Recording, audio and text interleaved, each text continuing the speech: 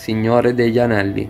Il modus operandi dell'alleanza rettiliana consiste innanzitutto nella scatenare eventi cataclismatici in un mondo sistema solare prescelto e spezzare via la società presente fino a quel momento. Successivamente i rettiliani programmano geneticamente una nuova specie che si sintonizzi sulla loro realtà fasulla, la loro matrice, e il pianeta di turno viene sabotato insieme alla percezione della gente. È esattamente ciò che hanno fatto anche alla Terra e all'umanità, e i mezzi di cui si sono serviti sono Saturno e la Luna. Saturno, il Signore degli Anelli, è il centro di controllo primario. Voglio dire, provate soltanto a osservarlo con tutti i suoi anelli. Saturno è un gigantesco sistema di trasmissione e alla fine si scoprirà che i suoi anelli sono colmi di cristalli, di un tipo non comune qui sulla Terra, e non di ghiaccio. Gli anelli non sono naturali e un tempo Saturno era una tipica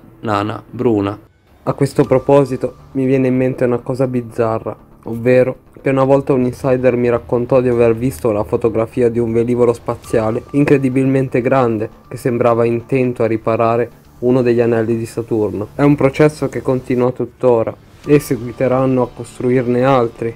Nel 2009 la NASA annunciò che il suo telescopio spaziale Spitzer aveva scoperto un altro anello che circondava Saturno a una distanza di circa 3,7 milioni di miglia, quasi 6 milioni di chilometri ed esteso 7 milioni e mezzo, equivalenti a quasi 12 milioni di chilometri. È talmente grande che per riempirlo tutto ci vorrebbero un miliardo di pianeti come la Terra. Alcuni scienziati ritengono che gli anelli di Saturno vennero formati dai detriti di una luna disintegrata, ma com'è possibile che ciò possa aver dato vita a un anello distante da Saturno 3,7 milioni di miglia e che potrebbe contenere un miliardo di terre?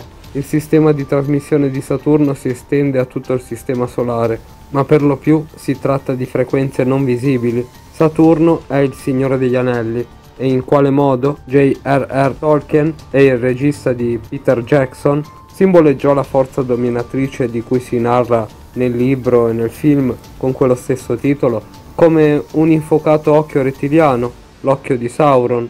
Gli scrittori come Tolkien, professore di inglese antico alla Oxford University, e il suo caro amico, autore delle cronache di Narnia, che simboleggia altre dimensioni della realtà, sapevano molto di più di quanto volessero ammettere apertamente. Utilizzarono la finzione per rappresentare dei fatti. Saturno è il secondo pianeta più grande del Sistema Solare, il primo è Giove ed è il sesto pianeta in ordine di distanza dal Sole.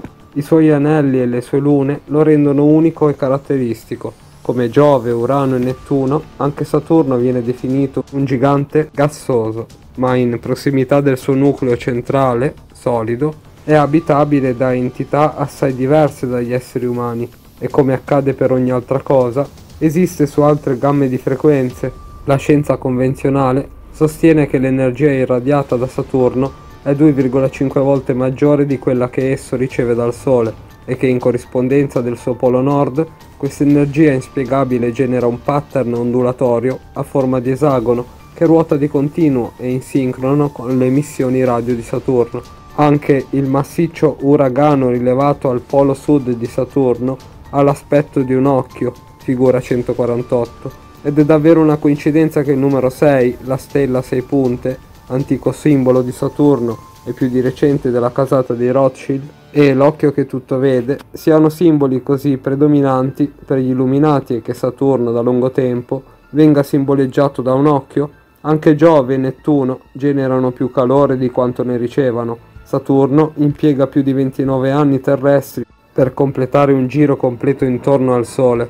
Questo pianeta, Sole oscuro, o Black Sun, è noto fin dall'epoca preistorica perché può essere visto dalla Terra, ma soltanto dopo la creazione di telescopi sufficientemente potenti si poterono vedere i suoi anelli, gli astronomi babilonesi calcolavano i movimenti di Saturno e i romani lo veneravano come un dio, il greco Cronos. Non è assolutamente una coincidenza che Saturno abbia così tante lune. Fino ad oggi ne sono state scoperte più di 60, contando anche la nana bruna Saturno, esse formano un mini sistema solare. Lo stesso dicasi per Giove con le sue 63 lune. La maggior parte delle lune di Saturno prende il nome dei fratelli e delle sorelle del dio Saturno, i Titani e le Titanidi. Alle piccole lune di Saturno, scoperte più recentemente, sono stati dati i nomi di divinità inuit, galliche e norrene. Nessuno di questi è casuale, si tratta di nomi differenti che rappresentano le stesse divinità presenti in ogni cultura. La luna più grande di Saturno, Titano, è la seconda luna più vasta del Sistema Solare dopo quella di Giove. Ganimede ed è il doppio della nostra luna. Titano, Ganimede e le altre principali lune di Giove, cioè Io, Europa, la dea dell'Unione Europa e Callisto. In realtà sono pianeti ma sono conosciuti come lune. Titano, Ganimede e altre lune svolgono un ruolo molto attivo nella matrice Saturno-Luna e sono sicuro che alla fine risulterà coinvolto anche Giove. Persino gli scienziati del filone convenzionale hanno ipotizzato che su Titano e Enceladus, un'altra luna di Saturno, potrebbe esserci qualche forma di vita. Saturno comunica con le maggiori lune e pianeti del nostro sistema solare, ma anche con quelli di minore importanza. Secondo me, la luna terrestre un tempo faceva parte di questo gruppo che circonda Saturno e parecchi di questi corpi celesti sono di natura molto simile tra loro. Sono sistemi informatici, amplificatori e satelliti della rete di trasmissione di Saturno e all'occorrenza vengono utilizzati per prendere di mira altri mondi. Ma Saturno non è la sola nana bruna sabotata. I rettiliani sono molto esperti in queste cose. Gli antichi spesso simboleggiavano Saturno come un occhio e probabilmente è proprio questa l'origine dell'occhio che tutto vede uno dei principali simboli delle stirpi ibrido-rettiliane, figura 150. Nel 2010 ho tenuto una conferenza a New York e mi sono recato nella stazione della metropolitana, immediatamente vicina a Ground Zero. Sulle pareti intorno alle piattaforme ci sono occhi fatti a mosaico e sul pavimento è raffigurato un grande occhio che trasmette frequenze a tutto il pianeta, figura 151. Sicuramente quest'occhio rappresenta Saturno, cioè Satana, e la sua funzione, ovvero sabotare la trasmissione delle informazioni in forma d'onda che provengono dal centro della galassia passando attraverso il Sole e trasmettere al Sistema Solare una falsa realtà che la Luna amplificherà e invierà direttamente alla Terra. Le incredibili sincronicità tra Terra, Luna e Sole in termini di dimensioni, geometria e posizione sono rese possibili dalla Luna. Tali sincronicità dipendono dal modo in cui le informazioni provenienti dal Sole vengono hackerate da Saturno e dalla Luna. La Luna è stata intenzionalmente posizionata lì dove si trova. La luce visibile e lo spettro elettromagnetico che la scienza è in grado di osservare e calcolare è la matrice, la falsa realtà. E Dio disse, sia la luce, la velocità della luce, che a quanto ci viene detto non può essere superata, sciocchezze, è la parete vibrazionale della matrice. In realtà è come se non stessimo neppure vivendo sulla Terra come essa è veramente. In parte è originale, ma ci sono svariati impianti olografici che la modificano la nostra percezione, e anche questo nel film Matrix è ben chiaro. Oppure nel film They Live, essi vivono. Se lo volete vedere lo trovate nel nostro secondo canale YouTube. Le trasmissioni della matrice impediscono a noi umani di percepire ciò che altrimenti percepiremmo e sperimenteremo la terra che non riusciamo a vedere è un luogo di amore e armonia, non di guerre, paure e sofferenza. I predatori governano le nostre vite e ci rendono loro schiavi, sabotando il nostro senso della realtà.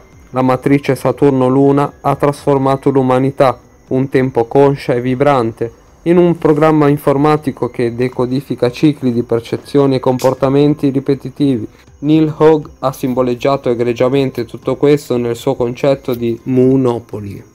Le trasmissioni della matrice Saturno-Luna vengono ricevute e ritrasmesse dal nucleo cristallino della Terra, che è stato sintonizzato sulla gamma di frequenze della matrice, e il sabotaggio si collega con noi attraverso il cervello rettiliano e il sistema ricevente trasmittente che chiamiamo DNA. Questo ci riporta al DNA spazzatura, tra virgolette, e alle parole del dottor Sam Chang. La stragrande maggioranza del DNA umano ha origine da un altro mondo e quelli che sembrano dei geni spazzatura extraterrestri semplicemente si godono la corsa, insieme a geni attivi che lavorano sodo e che vengono tramandati di generazione in generazione. Il dottor Cheng avrebbe detto. Nel nostro DNA vediamo un programma che consiste di due versioni, un grande codice e un codice di base. La prima considerazione è che il programma completo certamente non è stato scritto sulla Terra, il che è un fatto ormai assodato.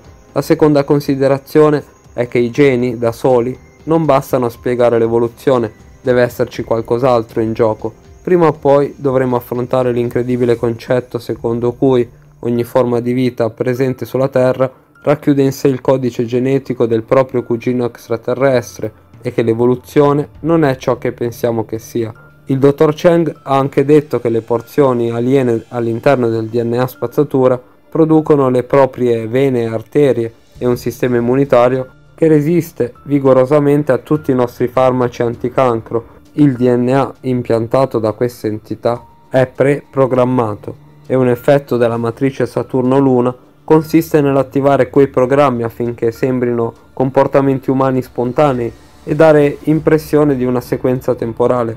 La matrice agisce come un laser che legge un software o un DVD.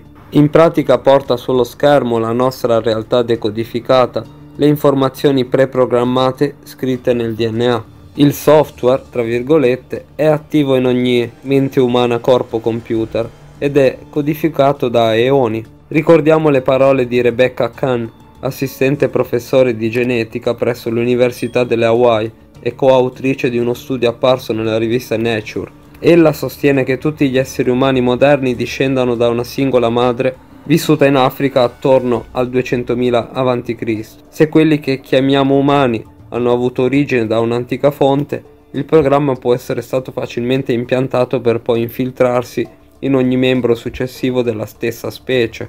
Tra parentesi, software. Soltanto diventando consci, oltre la mente e il corpo, possiamo annullare il programma.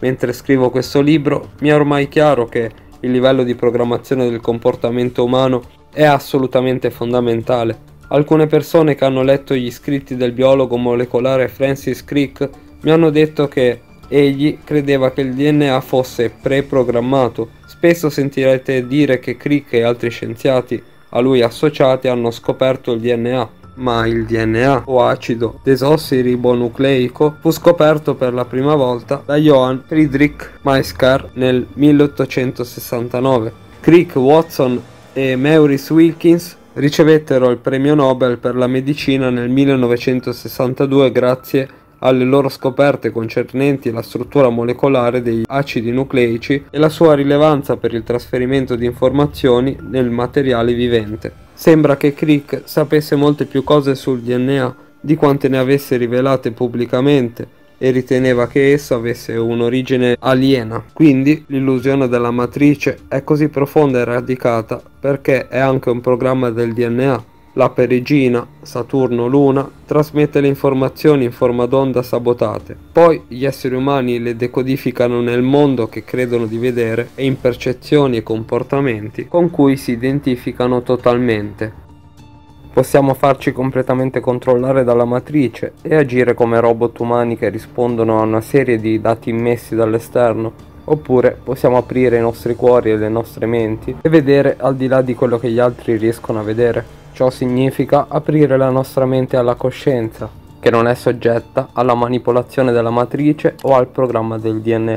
La coscienza opera al di fuori dello spazio e del tempo, oltre le pareti vibrazionali della matrice. Se osservate tutte le incredibili e infinite manipolazioni interconnesse che descriverò nel corso del libro, e ce ne sono molte altre, capirete che chiaramente non possono essere state ideate e decise da un gruppo di persone sedute attorno a un tavolo ho riflettuto spesso su questo punto, in che modo ciò viene fatto, tramite un sistema informatico che sforna dati su come agire e quando, ma ora vedo le cose chiaramente. Coloro che detengono il potere e gestiscono e impongono il sistema di controllo seguono un programma, nello stesso modo in cui le formiche e le api operaie seguono il programma trasmesso dalla regina. Sono terminali di computer nell'internet della matrice e la matrice Saturno-Luna attiva il loro DNA già programmato affinché reagisca secondo il programma. Le stirpi sono intrappolate più degli altri perché sono state geneticamente create a quello scopo, ma chiunque non sia veramente conscio reagirà al programma del DNA e della matrice Saturno-Luna che guida pensieri, percezioni e comportamenti.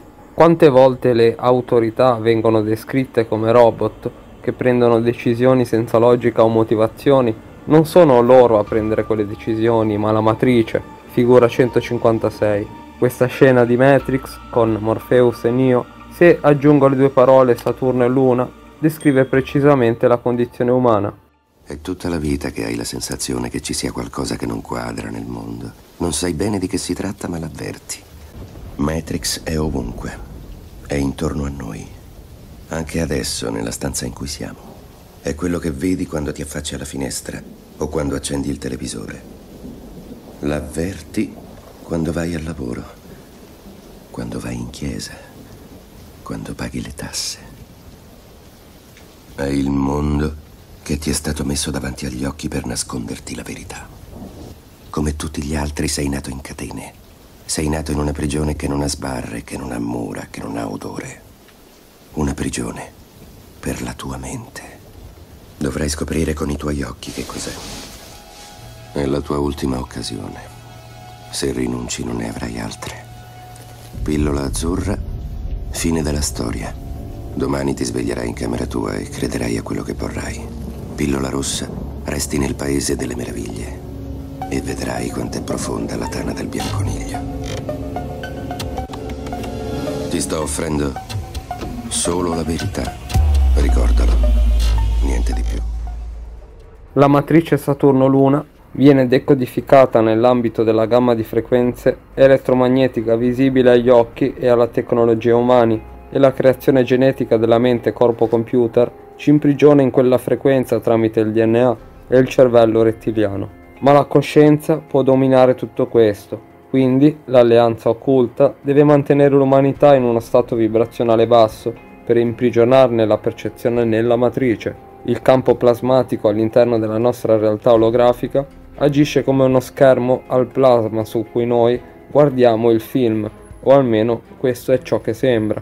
Come ogni altra cosa, è solo l'espressione di informazioni in forma d'onda decodificate. Gli individui trascorrono una vita intera seguendo il programma che decodificano da Saturno, mentre credono che quello sia il mondo vero. Gli esseri umani sono come animali da cortile a due zampe, inebetiti dai fanali della matrice che si avvicina sempre di più. La realtà che ci stanno propinando è codificata con percezioni ed esperienze che inducono le persone a trasmettere energia emozionale a bassa vibrazione. Questa energia nutre l'alleanza rettiliana e sotto molti aspetti aiuta ad alimentare il sistema. Il gioco di realtà virtuale è interattivo e lo è anche la sua versione hackerata. Noi riceviamo e trasmettiamo, riceviamo e postiamo, la matrice Saturno-Luna, ha creato un loop percettivo energetico in cui ci viene dato in pasto una falsa realtà e quando la percepiamo e crediamo sia reale, la ritrasmettiamo alla matrice. Ciò non fa altro che rafforzare costantemente la realtà fasulla in un feedback loop o ciclo di informazioni di ritorno. In poche parole, se siamo convinti che la realtà hackerata sia reale, questo darà sempre più potere alla matrice ma noi possiamo spezzare questo ciclo chiuso nei modi che sto descrivendo, aprendo la nostra mente alla coscienza al di là delle frequenze della matrice. La matrice Saturno-Luna ha il potere di influenzare la nostra realtà, ma se apriremo le nostre menti e i nostri cuori e lasceremo entrare la coscienza, quel potere man mano si indebolirà. Proprio per tale ragione il sistema di controllo è terrorizzato dalle vibrazioni della verità e ci sta colpendo con ogni cosa possibile e immaginabile per mantenerci intrappolati nella scatola vibrazionale attraverso la paura, il caos e gli eventi cataclismatici.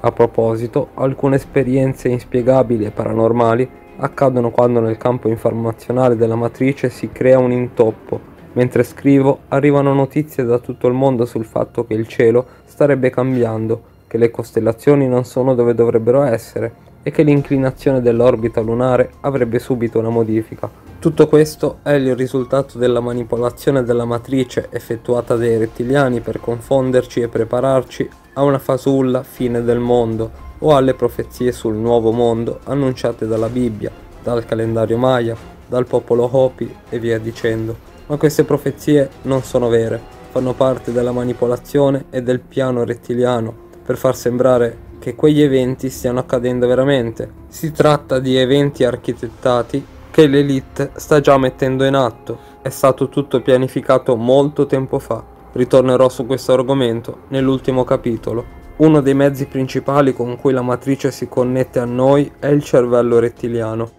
In questo modo rimaniamo più facilmente intrappolati nel sistema di controllo dell'alleanza rettiliana, figura 158. Le trasmissioni della matrice prendono di mira anche i sistemi di ricezione e trasmissione del nostro DNA, soprattutto nell'ambito del cosiddetto DNA spazzatura come viene definito dalla scienza. Parte di questo DNA è stato disattivato per limitare ulteriormente la banda della realtà che sperimentiamo, mentre un'altra porzione capta le frequenze della matrice trasmesse da onde vettrici che provengono da Saturno e passano attraverso la Luna è così che, secondo le parole di Don Juan Matus nei libri di Carlos Castaneda, essi ci hanno ceduto la loro mente. Alla luce di quanto descritto, vale la pena rileggere questo passaggio. Esiste un predatore che è emerso dalle profondità del cosmo e ha assunto il comando delle nostre vite. Gli esseri umani sono suoi prigionieri. Il predatore è nostro Signore padrone, ci ha resi docili, inermi. Se vogliamo protestare, egli reprime le nostre proteste se vogliamo agire indipendentemente, esige che non lo facciamo. Siamo davvero prigionieri. Essi si sono impadroniti di noi perché noi per loro siamo cibo e ci strizzano senza pietà poiché da noi traggono il loro sostentamento. Proprio come noi alleviamo i polli in batterie, i predatori ci allevano in batterie umane e così hanno sempre il loro cibo a disposizione. Rifletti un attimo e dimmi come spiegheresti le contraddizioni tra l'intelligenza dell'uomo ideatore e la stupidità dei suoi sistemi di credenze o la stupidità del suo comportamento contraddittorio. Gli stregoni credono che siano stati i predatori a trasmetterci i nostri attuali sistemi di credenze, la nostra idea di ciò che è bene e male, le nostre abitudini sociali. Sono loro che alimentano i nostri sogni di successo o la paura di fallire ci hanno trasmesso l'avidità, la cupidigia e la codardia. Sono i predatori a renderci compiacenti, abitudinari e maniaci del nostro ego. Per farsi ubbidire e tenerci buoni, i predatori si sono imbarcati in una stupenda manovra, stupenda naturalmente dal punto di vista di uno stratega, una manovra orrenda invece dal punto di vista di coloro che l'hanno subita. Essi ci hanno ceduto la loro mente. La mente dei predatori è barocca, contraddittoria e cupa, pervasa dal timore di essere scoperta da un momento all'altro. E l'hanno fatto attraverso la matrice Saturno-Luna.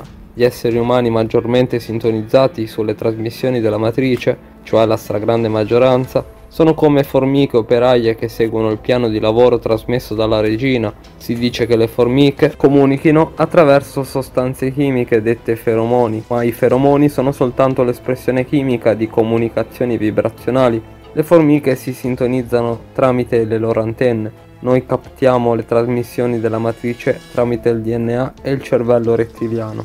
I rettiliani possiedono un sistema di comunicazione basato sulla mente alveare, a cui la matrice si connette e sembra che al centro vi sia una sorta di regina. Forse il culto della dea ha a che vedere con tutto questo e certamente la stirpe ibrida viene tramandata attraverso il DNA mitocondriale femminile.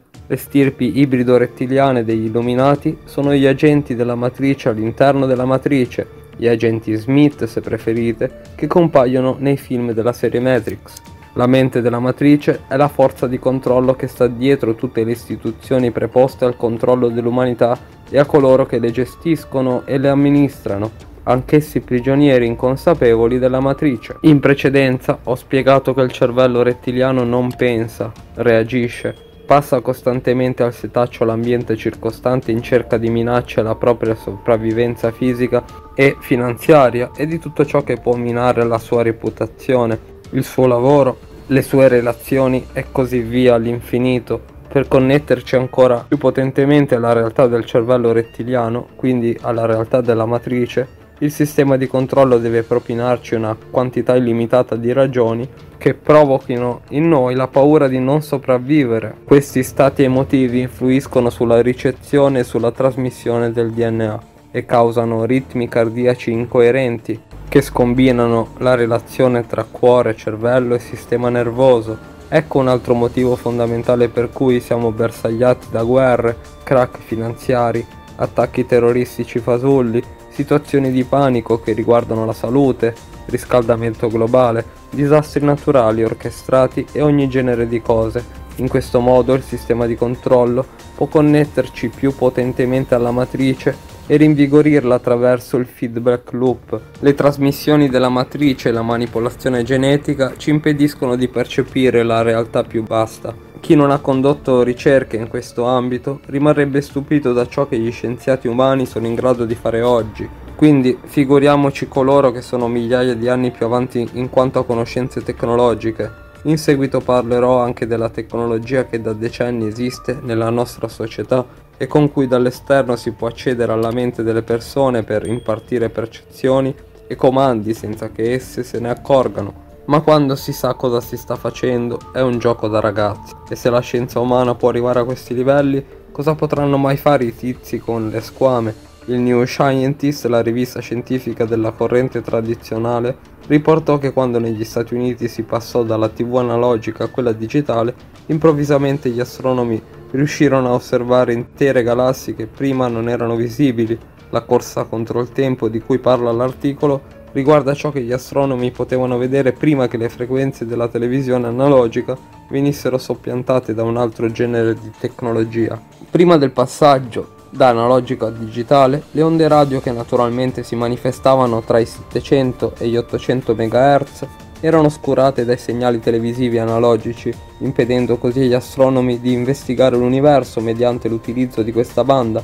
Ora che tale campo di variazione delle frequenze è stato liberato, si presenta l'opportunità più unica che rara di osservare le galassie in questa gamma. Chiusa citazione. Gli astronomi non riuscivano a osservare le galassie in quella gamma di frequenza perché gli americani stavano guardando la TV. Immaginate cos'è possibile fare con la tecnologia in possesso dell'alleanza rettiliana. Il campo plasmatico e l'atmosfera terrestre bloccano già il passaggio di molte energie e frequenze, figura 162, mentre altre frequenze a noi sconosciute vengono bloccate artificialmente. La scienza umana ha elaborato i cosiddetti metamateriali la loro superficie di dimensioni nanometriche a specifiche lunghezze d'onda interferisce con la luce e informazioni, facendola deviare intorno a un oggetto in colori specifici, frequenze, dello spettro luminoso. Questo rende l'oggetto invisibile, perché noi vediamo qualcosa solo quando la luce si riflette su di essa. I media hanno riportato l'impresa compiuta da un team di studio dell'Imperial College London e della Salford University nel nord-ovest dell'Inghilterra. Cito, gli scienziati hanno concepito un mantello spazio-temporale che manipola la luce e che sostanzialmente nasconde gli eventi alla vista dell'osservatore.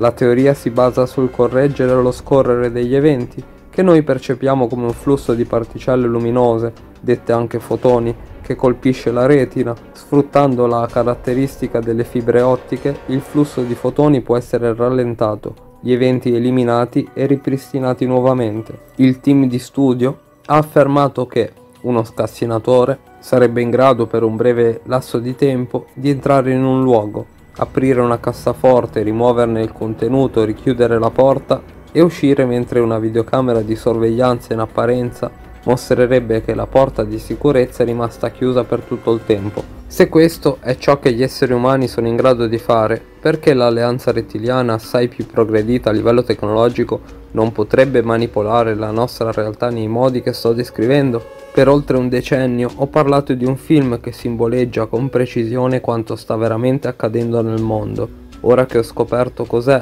la matrice Saturno-Luna, posso dire che è persino più accurato di quanto non avessi pensato inizialmente. Il film si intitola Essi vivono, titolo originale They Live e uscì nelle sale cinematografiche nel 1988. Lo potete vedere gratuitamente nel nostro secondo canale YouTube. Credo si potrebbe definire una sorta di B-movie e venne diretto dal regista e cineasta americano John Carpenter che a quanto sembra collaborò con George Lucas agli effetti speciali della saga di Star Wars, la stessa carriera cinematografica di Carpenter che include film di fantascienza, horror e temi occulti conferma la sua consapevolezza di ciò che sta succedendo lontano dallo sguardo del pubblico. Essi vivono inizia mostrando un personaggio interpretato da un ex lottatore di wrestling, Roddy Piper, che si sposta di città in città per cercare lavoro in un'America attanagliata da una catastrofica depressione economica e presidiata dalla polizia. Praticamente ciò che sta avvenendo ai giorni nostri. Trova un lavoro temporaneo in un cantiere edile e alla fine della giornata viene invitato da un collega a stare in quella che oggi definiremmo una baraccopoli. Riescono ad assemblare un televisore in bianco e nero e improvvisamente al posto dei normali programmi, sullo schermo appare un uomo che dice che essi erano lì e stavano segretamente controllando la popolazione. Il protagonista inizia a insospettirsi delle attività che si svolgono in una chiesa all'altro lato della strada e quando di soppiatto riesce a introdurvisi si accorge che la musica che sentiva dall'esterno in realtà non era altro che un nastro registrato. Trova alcune scatole marroni, ma prima di riuscire ad aprirne una Fugge per paura di essere catturato. Quella stessa notte la polizia prende d'assalto il villaggio di baracche con elicotteri e ruspe. Il luogo viene raso al suolo e la gente attaccata, ma lui riesce a scappare. Il giorno dopo, quando le acque si sono calmate, il protagonista ritorna alla chiesa per vedere cosa contengono le scatole. Ne afferra una e corre a nascondersi in un vicolo. La apre e scopre varie paia di occhiali da sole Deluso e perplesso, ne prende un paio, lo infila in tasca e ritorna sulla via principale. Ma quando indossa gli occhiali tutto cambia. I cartelloni pubblicitari non mostrano più le immagini che prima vedeva con i suoi occhi, bensì solo messaggi subliminali che dicono non svegliatevi, non fate domande alle autorità, ubbidite, non pensate, uccidete la fantasia, comprate, e sottomettetevi. Lo stesso accade quando guarda annunci e articoli su quotidiani e riviste, sul denaro, quando lo osserva attraverso gli occhiali, vede la scritta Sono il tuo Dio. Tuttavia, il più grande shock arriva quando si accorge che alcune persone che normalmente apparivano umane, una volta infilati gli occhiali, hanno tutt'altre sembianze. Il presidente degli Stati Uniti e i presentatori del telegiornale non sono umani, lo stesso dicasi per alcuni funzionari di polizia. A un certo punto egli arriva in una zona sotterranea della città e si rende conto che è in atto una cospirazione tra extraterrestri nascosti e la cricca umana che in superficie lavora per conto loro. Vi rimando una carta degli Illuminati 1982-1995 tra le tante profetiche e annesse le persone vengono teletrasportate su altri pianeti grazie a un'alta tecnologia sconosciuta al pubblico. Ho avuto modo di parlare con alcune persone che hanno preso parte a progetti super top secret, le quali mi hanno spiegato di essere state più volte teletrasportate mediante tecniche alla ci faccia risalire Scotty frase presa dalla celebre serie di telefilm Star Trek in cui il capitano Kirk chiede al suo ingegnere capo, il signor Scott, di risalire sull'astronave Enterprise tramite il teletrasporto. Uno di essi mi raccontò di essere stato teletrasportato su una base sotto la superficie di Marte, dove incontrò membri di una razza extraterrestre che sembravano praticamente umani. Mentre la gente gioca a Monopoly a livello vibrazionale olografico, in giro succedono un sacco di cose. Il personaggio interpretato da Roddy Piper scopre che le persone non riescono a vedere gli esseri non umani che le controllano e nemmeno i loro messaggi subliminali a causa di una particolare frequenza trasmessa dalla torre di una stazione televisiva che inibisce le percezioni. Una volta distrutta quella sorta di antenna parabolica, la trasmissione della frequenza viene interrotta e immediatamente la gente vede seduti accanto a sé gli extraterrestri. Ecco, fate conto che quell'antenna sia la Luna e la matrice Saturno-Luna e capirete cosa sta succedendo a noi. Alcune antiche tradizioni, con il loro linguaggio, parlano della Luna proprio in questo modo. Quando credo mutuo alesse ciò che avevo scritto riguardo la Luna e alla matrice lunare nel mio libro Il risveglio del leone, mi disse ciò che dici della luna è ciò che dicono anche i nostri antenati. Mi disse anche che durante una delle sue molte esperienze di premorte aveva avuto modo di osservare la luna e cito La luna è esattamente ciò che hai descritto tu, ha una grande caverna al suo interno è vuota come un pallone da football. Ho già detto che spesso, quando rivelo pubblicamente qualcosa che si scosta molto dalla società tradizionale, successivamente mi arriva una conferma improvvisa che sono sulla strada giusta.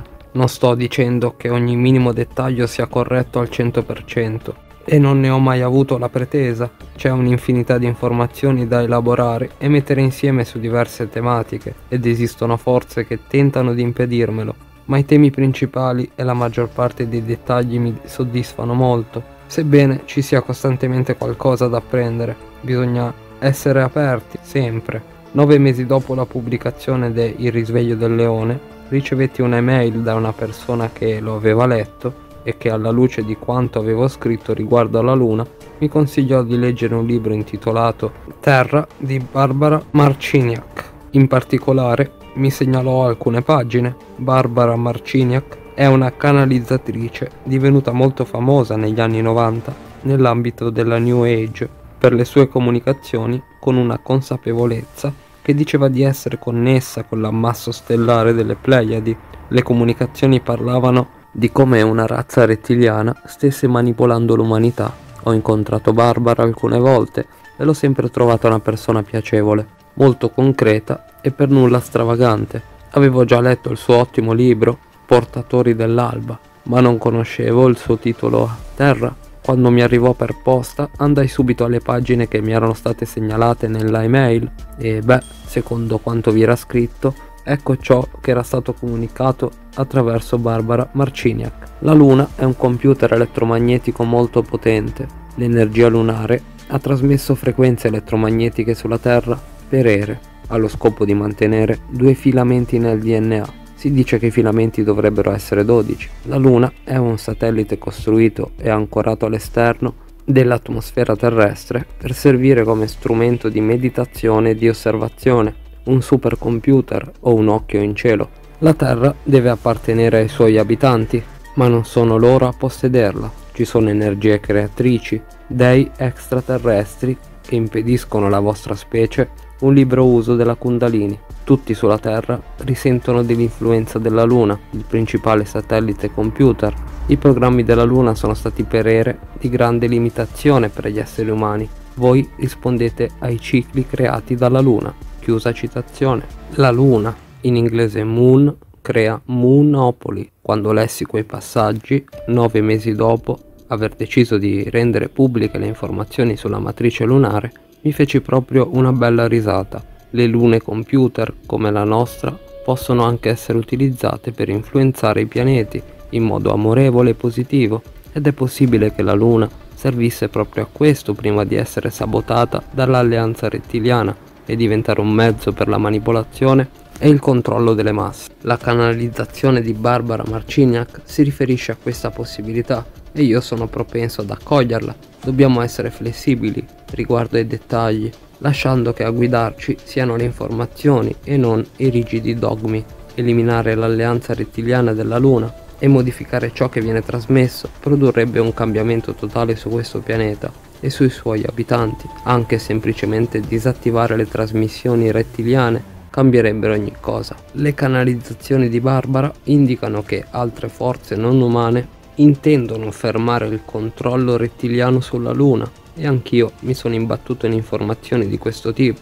Negli anni ho capito che l'intervento di queste forze è già iniziato. Non siamo soli nell'affrontare le difficoltà, anche se le stirpi vogliono farcelo credere. È in atto uno sforzo multidimensionale per liberare il pianeta da eoni di controllo da parte dei rettiliani e dei grigi ed è proprio quello che succederà. Dobbiamo fare la nostra parte nel nostro livello della realtà e altri svolgeranno altrove il loro compito. Lo smantellamento del sistema di controllo rettiliano non ha il solo scopo di aiutare l'umanità. Ciò che sta accadendo qui sta avendo un effetto a catena attraverso un'ampia zona della galassia e oltre, perché come ormai sappiamo una piccola parte dell'ologramma può influire su tutto l'insieme Ecco altre canalizzazioni di Barbara Marciniak che troviamo nel titolo Terra. Ci sono state molte battaglie per il possesso della Luna.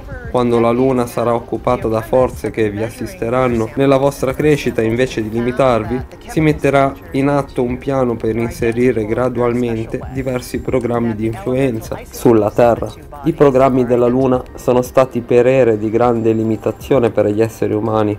I racconti della follia, da luna piena, degli attacchi di pazzia e di un flusso mestruale aumentato sono assolutamente veri. Voi rispondete ai cicli creati dalla Luna. Sapete che la televisione vi influenza in misura rilevante. La Luna funziona allo stesso modo, anche se non siete stati in grado di sintonizzarvi sui suoi programmi ed imparare a spegnerli. Dato che non potete, altri devono spegnerla per voi o riprogrammarla, ciò che sta per accadere ora. Per il momento la Luna è completamente controllata e alcune persone sono profondamente influenzate dalla sua natura folle e maniacale. Fuori da questo recinto che conosciamo vi sono civiltà e altri esseri che possiedono diverse basi lunari e gli abitanti della Terra hanno assai poco potere quando si arriva al nocciolo. Sono gli extraterrestri ad averne realmente il controllo. La vostra tecnologia, malgrado i suoi rapidi progressi, non può neppure essere confrontata con la biotecnologia, compresa la manipolazione genetica, dei viaggiatori senzienti dello spazio. Voi siete gli ultimi arrivati in questo gioco e mancati di una chiave vitale perché i vostri sensi e l'essenza del vostro mondo fisico strutturano la realtà in un modo particolare, traducete continuamente le informazioni come se steste interpretando un sogno e condensate l'esperienza in limiti fisici che possono spiegare sempre meno come state scoprendo. Chiusa citazione. È proprio ciò che ho messo in evidenza in tutti questi anni e in questo libro. Noi veniamo manipolati per farci decodificare la realtà in un modo tale che ci limiti e ci schiavizzi. Nello stesso periodo trovai anche questa citazione del noto mistico di origine armena George Gurdjieff. Nel 1916 egli disse tutti i movimenti, tutte le azioni e manifestazioni degli uomini, degli animali e delle piante dipendono e sono comandati dalla Luna. La parte meccanica della nostra vita dipende dalla Luna, è soggetta alla Luna. Ma se noi sviluppiamo in noi stessi la coscienza e la volontà e sottomettiamo ad esse la nostra vita meccanica e tutte le nostre manifestazioni meccaniche, sfuggiremo al potere della Luna. Chiusa citazione. Precisamente, è proprio così. La matrice Saturno-Luna opera nella gamma di frequenza della mente, dello spettro elettromagnetico e delle emozioni a bassa vibrazione.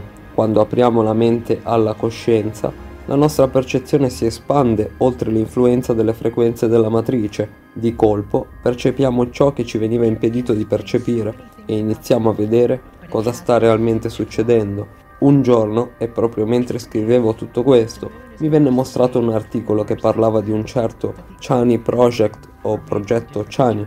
Tale progetto avrebbe a che fare con una tecnologia segreta, ubicata in Africa, che nel 1994 permise il contatto con un'entità di un universo parallelo. Le comunicazioni sarebbero proseguite per i cinque anni successivi.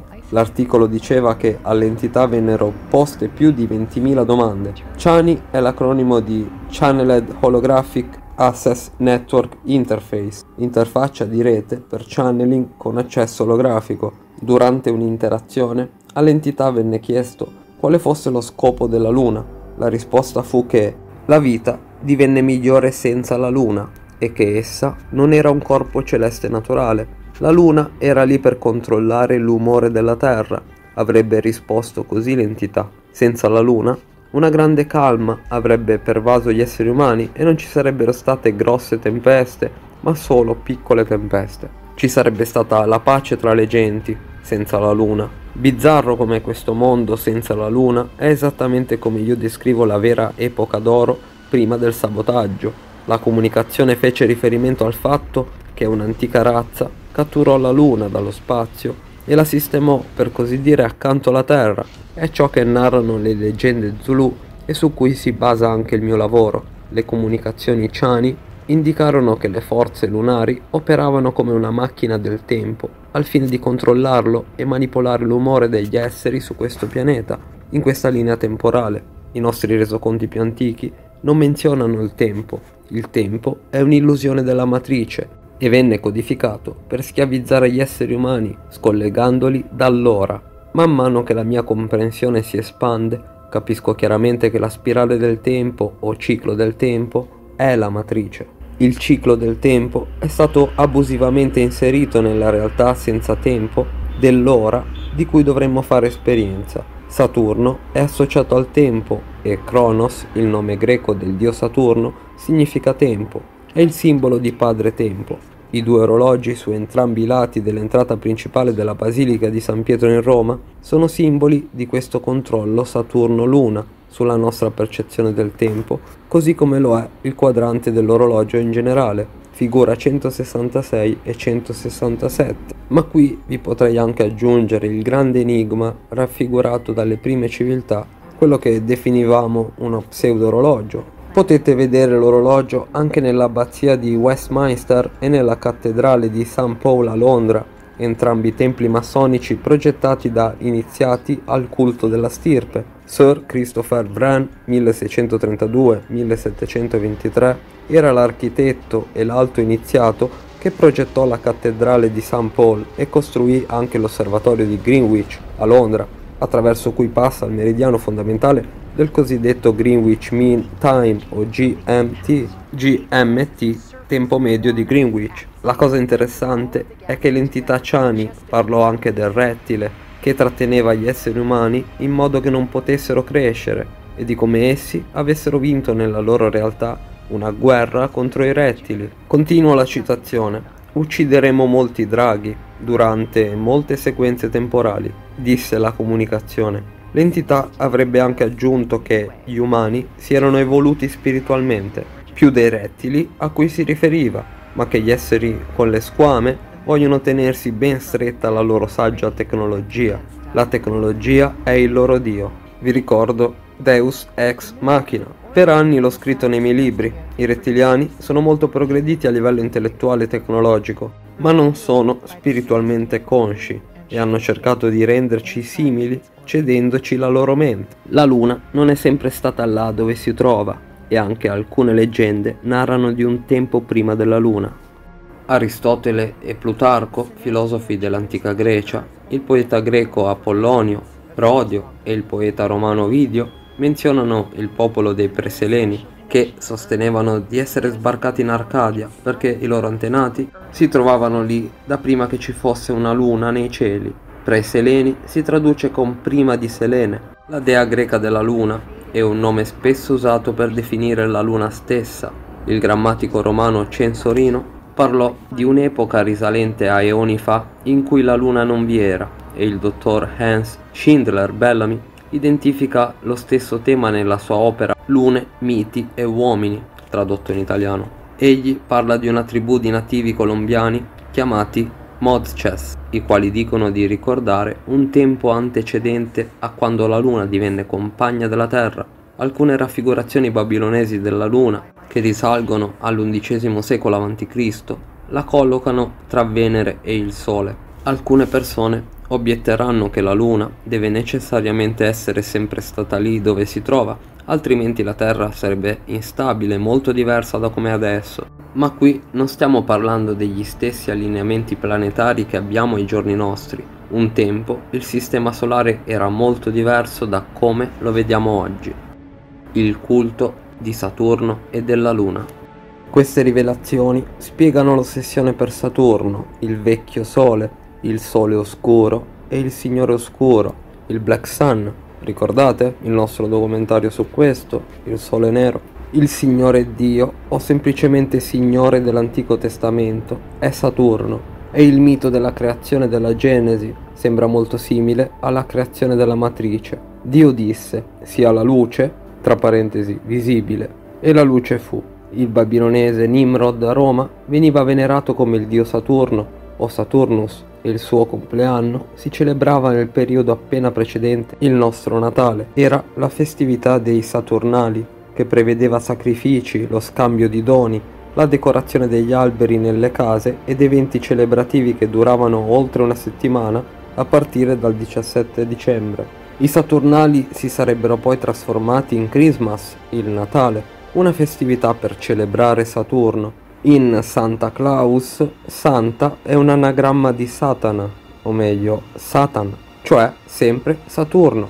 Guardate tutti i nostri approfondimenti proprio su questo. Dalla Mesopotamia, dove i babilonesi lo veneravano con il nome di Nimrod, il culto di Saturno, giunse poi a Roma, un tempo nota come la città di Saturno e il cristianesimo è soltanto un'altra versione della religione pagana di Roma e Babilonia. Ogni cosa mi fu chiara quando mi resi conto che moltissime divinità chiamate dei sole in realtà erano simboli del vecchio sole, il sole oscuro e signore oscuro, Saturno, chiamato appunto anche Crono, Pan, Baphomet, Moloch e anche Satana, il demiurgo. Anche questo cambia in base all'interpretazione, per carità ma si parla in fondo della stessa cosa e soprattutto delle stesse origini. Vi mostro tra i tanti il Tempio di Saturno, questo a Roma. Senza saperlo, i cristiani stanno tuttora venerando Saturno come loro dio e sono certo che la divinità del Sol Invictus,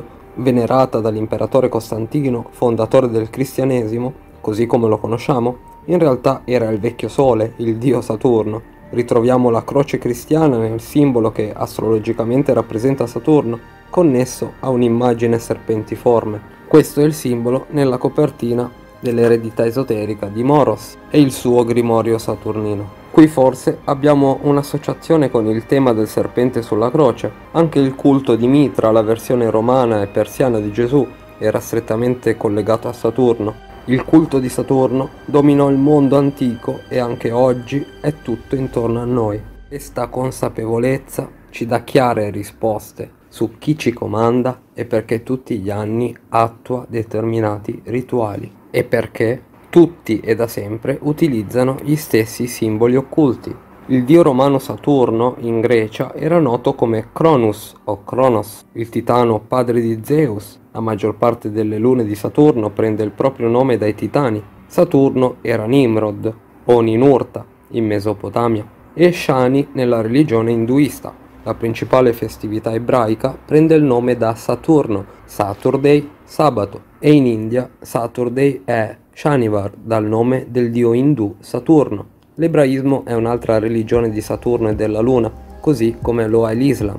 Per i musulmani il luogo più sacro di tutta la terra è la Kaaba, situata nella Mecca, in Arabia Saudita, all'interno del Masjid al-Haram, la più grande moschea nel mondo. Secondo la tradizione islamica, la Kaaba sarebbe stata costruita da Abramo, che è anche un eroe del giudaismo e del cristianesimo. Si dice che Abramo fosse il padre degli ebrei, la razza prescelta da Dio, cioè Saturno, e nella Bibbia si legge che egli era originario della terra di Shinar o Sumer. La Kaaba è una costruzione di forma cubica. Kaaba significa cubo e al suo interno vi è la pietra nera che secondo i musulmani venne portata lì da Abramo. La pietra nera sarebbe un presunto frammento di meteorite che la tradizione islamica fa risalire ai tempi di Adamo ed Eva, l'epoca in cui la razza umana venne geneticamente sabotata dai rettiliani che controllano Saturno e la Luna. Quindi la Kaaba è un cubo? Mmm, il cubo è un simbolo di Saturno. Ogni volta che vedete un cubo utilizzato come simbolo religioso o esoterico, esso rappresenta Saturno. Vi chiudo la parentesi del grimorio saturnino, su questo vi porterò tutta la traduzione essenziale e la mia analisi, dicendovi che questa eredità esoterica, chiamata Grimorio Saturnino, scritta dai più alti gradi di conoscenze pratiche su magia nera, demonologia e appunto il culto di Saturno del cubo nero, abbiamo tutte le prove del mondo che vogliamo da loro stessi direttamente. Vi rimando anche tra le prime pagine la dichiarazione di un nuovo ordine mondiale e il ritorno del regno di Satana, Saturno. Tutto quello che vi ho portato nelle ricerche personali, Kill Dogma TV, e lungo queste ricerche di David Icke è tutto confermato direttamente da loro stessi. In tutte le tradizioni occulte il cubo simboleggia anche la materia e ora capiamo perché. Saturno crea la materia, così come la percepiamo noi, attraverso i campi informazionali che decodifichiamo in realtà olografica. Come abbiamo visto prima, la NASA ha fotografato una formazione esagonale in corrispondenza del polo nord di Saturno e l'esagono rappresenta un cubo tridimensionale, proprio quello all'interno della stella di David. Cosa diciamo di qualcuno che è schiavo della mente? Che era chiuso in una scatola. Sì, la scatola della matrice Saturno-Luna. I musulmani devono inginocchiarsi rivolgendosi verso la Kaaba cinque volte al giorno e pregare alla Mecca. I cinque pilastri dell'Islam richiedono ai musulmani di recarsi in pellegrinaggio alla Kaaba almeno una volta nella loro vita. Il pellegrinaggio principale risale a un'epoca precedente la nascita dell'Islam, lo Hajj. Ai pellegrini viene detto di girare sette volte intorno alla Kaaba e ad ogni giro essi cercano di baciare la pietra nera. Inoltre devono pregare attorno alla Kaaba in cerchi concentrici. Vi ricorda qualcosa? La Mishnah o Mishnah ebraica, il primo documento scritto della Torah orale, elenca varie cerchie di santità che circondano il Tempio di Gerusalemme, come potete vedere nella figura 172. Anche questo vi ricorda qualcosa? Il santo dei santi di queste religioni è Saturno, che insieme alla Luna è la fonte del controllo sull'umanità. Inoltre, durante la preghiera del mattino, gli ebrei indossano un ulteriore simbolo di Saturno, i tefillin, due piccoli astucci di cuoio a forma di cubo. Poi abbiamo gli insegnamenti esoterici e mistici dell'ebraismo, la Kabbalah o Kabbalah, Kab, Allah, Potremmo tradurre questo termine con dio del cubo o persino Saturno Luna, visto che il musulmano Allah è una versione del dio della luna, Sin. La croce cristiana può anche essere simboleggiata come un cubo aperto, figura 173. Ora, man mano che ogni cosa diventa molto più chiara e semplice, mi rendo conto che il dio del giudaismo, El, che nei libri precedenti avevo collegato alla Luna e a Saturno, in effetti è realmente la rappresentazione di Saturno, da qui il nome Israel. Is è Iside, la Vergine Madre egiziana, Ra è il dio sole d'Egitto ed El è il dio ebraico di Saturno. El si riferisce a un dio universale che veniva chiamato il padre degli dei e padre dell'uomo, il padre degli umani geneticamente creati e riprogrammati, quelli che conosciamo oggi. El deriva da El-Oim, l'alleanza rettiliana, termine menzionato 2500 volte nell'Antico Testamento. Abbiamo angeli, Anj, El, I, di nome Mica, El, Gabri, El, Uri, El e Rafa, El. La Bibbia parla di Gesù come dell'Emmanuel e abbiamo anche il Gospel, il Vangelo, e i Church Elders, gli anziani o i saggi nel cristianesimo sono persone scelte come guide spirituali grazie alla loro saggezza e al senso di responsabilità. Ricordiamo inoltre l'antico simbolo dell'obelisco, utilizzato anche dai massoni. Il simbolismo legato a Saturno è ovunque e non solo in ambito religioso. Tutto il sistema delle stirpi degli illuminati ha a che fare con la simbologia e il culto del Signore degli Anelli, Saturno è rappresentato dal colore nero ed era noto agli antichi ma anche alle odierne società segrete e ai satanisti come il Sole Nero. Ecco perché la Kaaba è nera, così come toghe e tonache di giudici, avvocati, sacerdoti, rabbini e degli studenti quando si laureano, ovvero quando confermano il loro grado di indottrinamento e indossano anche il copricapo quadrato chiamato tocco, così come escono le nostre teste, quadrate, o come vorrebbero farli uscire. Ha ragione il capo dell'ordine dei Gesuiti che venera Saturno è conosciuto come il Papa Nero. Le stirpi degli Illuminati, emerse in Italia, specialmente a Firenze e Venezia, sono note come la nobiltà nera. La matrice Saturno-Luna cerca di chiudere il nostro terzo occhio e di intrappolarci nella realtà sensoriale. Il chakra del terzo occhio risuona con il colore blu e gli Illuminati, per usare le parole di un brano dei Rolling Stones vogliono dipingerlo di nero, l'hanno già fatto alla maggior parte della gente. Ma ora le cose stanno cambiando. Saturno è il dio delle banche, il che ormai non sorprenderà più nessuno. E non a caso abbiamo le elezioni per essere eletti. Quando si diventa potenti e ricchi si entra a far parte dell'elite. La matrice Saturno-Luna sta facendo un incantesimo, in inglese spell, sulla mente umana. Il comunismo fu inventato dall'elite, come ho rivelato in altri libri quali E la verità vi renderà liberi. Nella figura 175 potete vedere come il simbolo astrologico di Saturno sia così simile alla falce e martello dell'Unione Sovietica. La falce tanto utilizzata da Saturno stesso. I giudici dei tribunali indossano una toga nera e usano il martello e il tristo mietitore o la triste mietitrice, un'immagine ispirata a Saturno, è rappresentato da una figura sinistra che brandisce una falce. Gli antichi simboleggiavano Saturno come una stella a sei punte, il simbolo della casata di Rothschild, che poi venne inserito nella bandiera del moderno Israel. Lo stesso nome Rothschild significa Red Shield, scudo rosso, o Red Sign, segno rosso, quindi vi ricordo la croce templare. La stella a sei punti di Saturno che compariva sulla loro originaria abitazione in Germania. Partendo dal Sole, Saturno è il sesto pianeta e rappresenta il sesto giorno della settimana e non dimentichiamo l'esagono sul polo nord di Saturno. La Bibbia inoltre cita il numero della bestia, 666. Gli anelli sono un ovvio simbolo di Saturno, anche quelli nuziali. Se esaminato da una più ampia prospettiva, sposarsi simboleggia la restrizione e la tradizione attraverso l'istituzione del matrimonio. Ora so che l'aureola, l'anello luminoso attorno al capo delle divinità e degli eroi religiosi, non simboleggia il nostro sole, bensì il vecchio sole, Saturno. Satana è Saturno, quindi il satanismo è saturnismo. I satanisti si vestono di nero perché sono adoratori di Saturno e delle entità non umane che lo controllano e ordiscono la schiavizzazione dell'umanità. I satanisti venerano anche la luna per via della sua connessione con Saturno e gli stessi dei demoniaci rettiliani. L'altro principale colore satanico è il rosso e il più famoso uomo in rosso è Babbo Natale, Santa o Satan, che arriva sulla sua slitta all'incirca nel periodo della festività romana dei Saturnali.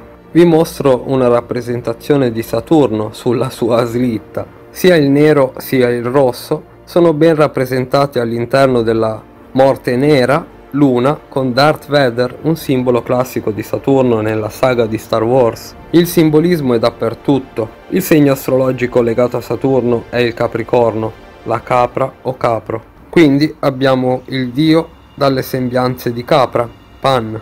L'immagine del capro è ampiamente utilizzata anche nel satanismo, ovviamente. Ritroviamo il tema del capro anche nella rappresentazione composita del maligno, noto come Baphomet o Bafometto. Quest'immagine è venerata dai cavalieri templari. Vi mostro un'immagine dai loro testi ma è del tutto scontato visto che, come i Gesuiti, i Cavalieri di Malta e l'Opus Dei, anche i Templari sono un braccio del culto satanico chiamato Chiesa Cattolica. Il Papa Benedetto XVI, un ex membro della gioventù nazista, ama indossare il suo Saturno o cappello romano. Il simbolo del Capricorno è metà capro e metà pesce, un altro emblema dei rettiliani raffigurati come dei pesce. Saturno è il dio venerato dalle società segrete degli Illuminati. Alcune lo fanno apertamente come nel caso della Fraternitas Saturni o Fratellanza di Saturno, sorta in uno dei principali centri dell'occultismo e patria della casata dei Rothschild, la Germania.